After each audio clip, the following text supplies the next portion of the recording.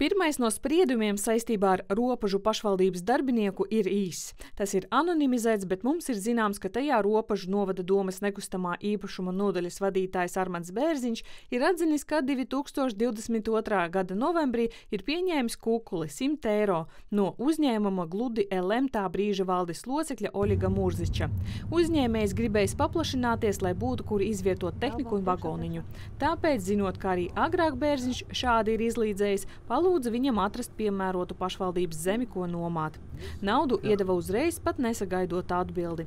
Abi vainu ir atzinuši un saņēmuši nosacītu brīvības atņemšanas sodu uz pusotru gadu.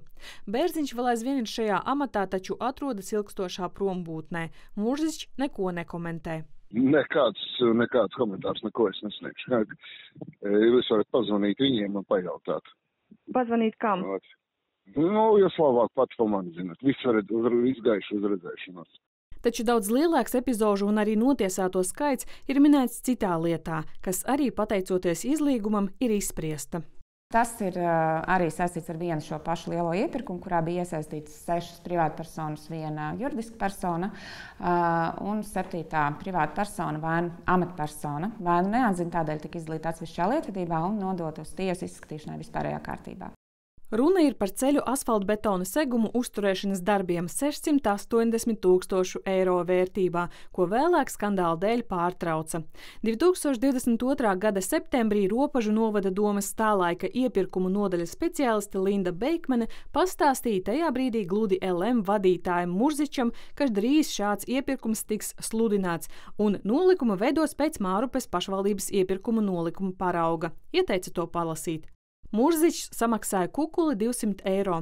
Kad novembrī iepirkumu izsludināja, tajā pašā dienā Ropažu novada domas tolaik deputāts Gundars Krievs nodeva Murzičam OSB zibatmiņu ar neizpaužamo informāciju par viņa konkurenta iesniegto piedāvājumu.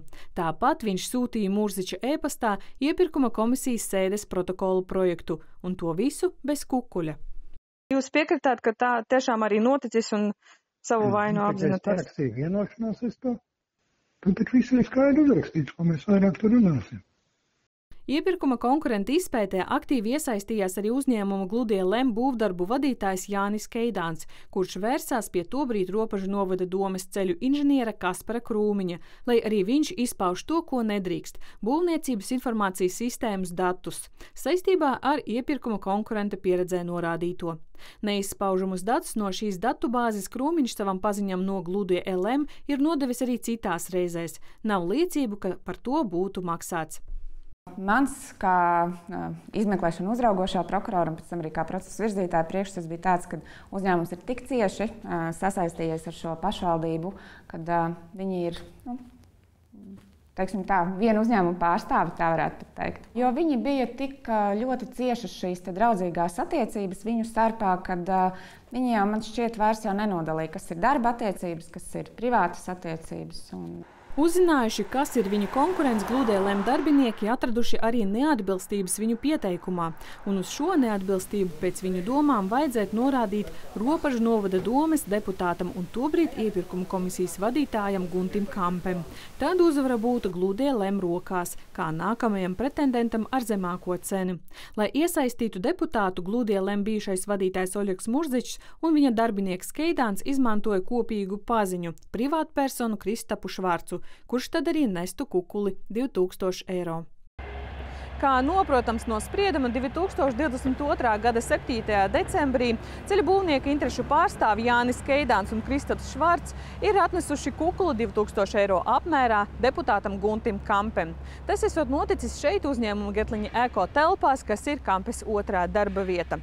Pats deputāts kategoriski noliedz ziņas par kukuļņemšanu, tāpēc viņa lietu izdalīja atsevišķi. Nu, ar šo personu es esmu ticies un, un esmu runājis, jā, bet es vēlreiz atkārtoju, ka nekādus materiālus labumus ne viņš man ir devis, lai mēs ņēmis, lai nodrošinātu kaut kādus uh, uzvaras vai kaut kādas informācijas izpaušanas vai sniegšanas vai vēl, vēl kaut ko citu. Neko tādu neesmu darījis. Tāpēc arī man uh, nav par ko atzīt savu vainu. Par to, vai vēlāk Ziemassvētkos Švarts uzdāvināja viņam konjaka pudeli, Kampe neatbild, taču noraida, ka dāvana būtu par to, lai pasteidzinātu iepirkuma komisijas sēdes sasaukšanu, kā to min Švarts.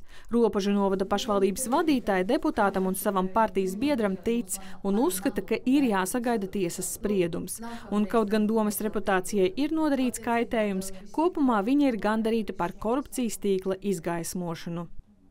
Jā, es domāju, ka pašvaldībai tas ir tikai pozitīvi, ka šāda lieta tika atklāta, jo tas, manuprāt, ļoti motivē arī darbiniekus tālākai godīgam darbam pašvaldībā. Jo katrs sots, ko dzird vai redz, tomēr ir motivācija pašam nepakļauties, nepaklupt un nedarīt kaut ko nelikumīgu.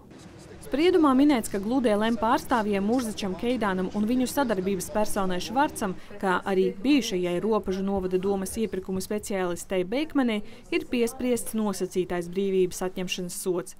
Šobrīd Beikmane ir pakalpojumu speciālista amatā, tātad nepilda amatpersonas pienākumus, bet doma viņu atlaist nevar, jo arī viņa atrodas prombūtnē. Pagaidām.